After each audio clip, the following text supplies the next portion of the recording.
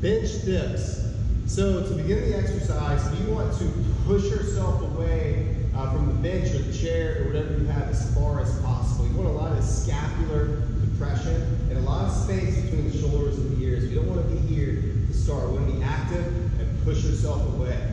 Next, you want to extend your legs straight. From here, we're going to slide straight down and pull ourselves down. Then from this position, go as, as far comfortable, or go as far as what's comfortable for you. And from here, I want you to press back up.